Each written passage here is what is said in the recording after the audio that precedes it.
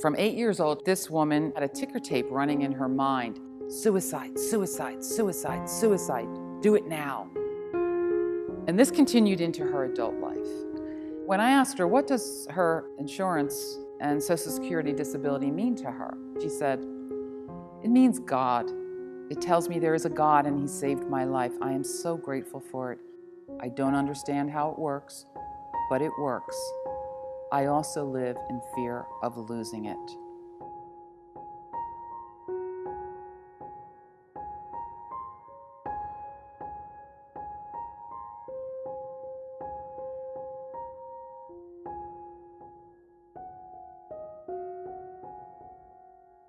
I am the artist behind these paintings, and the project is called Art As Social Inquiry.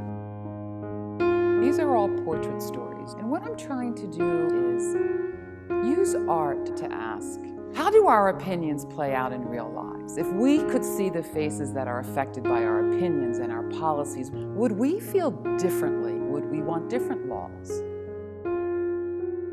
Art As Social Inquiry is a way to make a connection to a real person. When I was a kid, I could go into a room and feel everything everybody was feeling. It was really, frankly, quite overwhelming. It felt like I was being pummeled with rocks. I later learned in life that that sensitivity that I had and have is my superpower. It's what I use to connect with the people I interview. I try to really feel who they are and listen intently. And when I'm painting them, I look for that same feeling. I look for that person to stare back at me from the canvas. And I always know when it happens, when the soul enters the canvas, because a chill goes up my spine.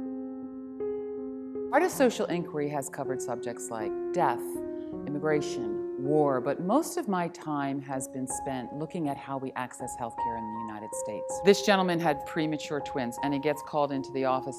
Your benefits have run out. We have at this company a policy with a lifetime limit. His twins' bills exceeded the limit to what the policy would pay out. Can you imagine? Here's a guy doing his thing. He finds out he's on the hook for half a million dollars.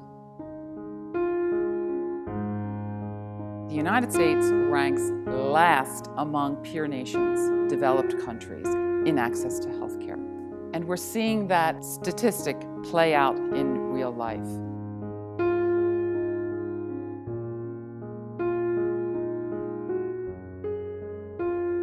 This is Jenny Fritz. Jenny moved with her husband to a new state and she discovered she was pregnant. Her husband's job did not provide health insurance. She did not qualify for any kind of assistance because they didn't live in the state long enough. Pregnancy at the time was considered a pre-existing condition. No insurance company would sell her an individual policy. About seven and a half months into the pregnancy, she developed serious problems and her husband took her to the emergency room. She didn't have insurance, so she was sent home. By the third time, uh, the husband went to a different hospital and said, I left my insurance card at home, and they admitted her. When Jenny entered the hospital, she had pneumonia, respiratory failure, septic shock, heart failure, brain bleed. The doctors delivered a stillborn baby, baby girl, her second child. And 50 days later, Jenny died in this country, in the United States of America, because she cannot get insurance. Forgive us, Jenny. Forgive us. The health insurance story in this country is made up of people's lives. This is Adrienne.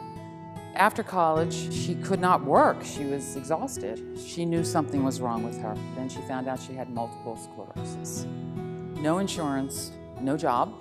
She just graduated and unable to get a job. She applied four times for the traditional Medicaid in the state and was denied four times.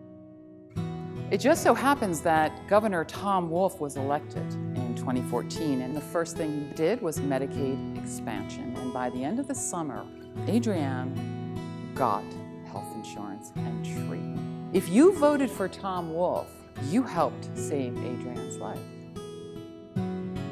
Hundreds of thousands, millions of other Adriennes are out there. As hard as it is, if we're to truly solve the problems, we need to jump into other people's ditches. It takes perseverance and courage to say, I will sit and I will listen and I will be open.